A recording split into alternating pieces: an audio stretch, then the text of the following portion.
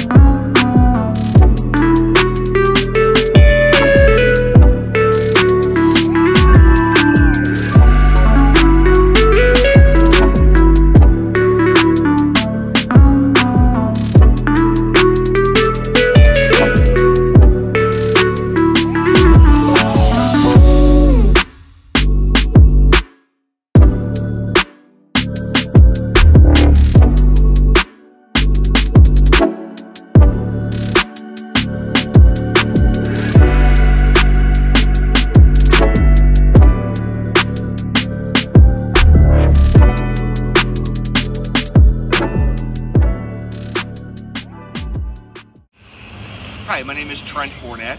This is Hazel, and she's eight months old, and she knew no commands. She was crazy on a leash. She would pull, and I call her my little Tasmanian devil on a leash because she would just be like a balloon that you let the air out of, and she would go everywhere. Um, I found off-leash training online, and I sent her for the two-week board and train, and today is my my day I get her back from my trainer. And we've spent the last couple hours walking around here and she knows how to walk on a leash, she knows how to sit, she knows how to place, how to lay down and stay there. And um, I'm very pleased with her her knowledge that she's coming home with. So I highly recommend off-leash training. Hey guys, Josh Wilson with Off Leash Canine Training. I hope you enjoyed another amazing dog put out by my team. Uh, across the country, we don't care about the breed, the size, the age, or the behavioral issue. We're going to make them awesome for you. If you're interested in seeing more videos like the one you just saw, click the image here on the screen. Also, I'd encourage you to check us out on Instagram and Facebook. And before you leave our channel, make sure you subscribe. So every time a new video comes up of another outstanding dog doing some crazy, amazing things, you're going to get notified in your email address. And for more information on other locations we have around the country, check us out at joshwilson.dog. Appreciate you so much for watching our channel. See you soon.